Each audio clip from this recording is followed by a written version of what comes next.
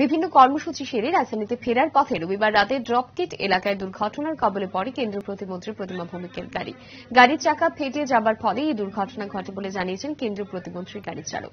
জীবির দুর্ঘটনার খবর পেয়ে ঘটনাস্থলে ছুটে আসেন আরক্ষা দপ্তর এবং ট্রাফিক দপ্তরের কর্মীরা। জীবির ট্রমা সেন্টারে কেন্দ্রীয় প্রতিমন্ত্রীকে চিকিৎসা সহায়তা প্রদান করা হয়েছে বলে জানা গেছে।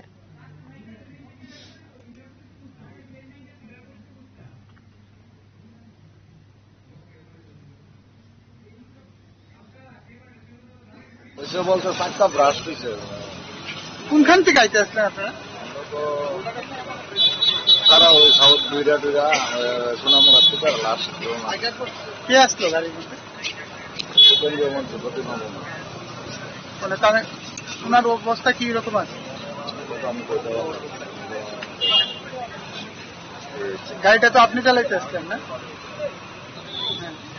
কীভাবে এইভাবে এইরকম হইল? চারটা ব্রাশ মারছে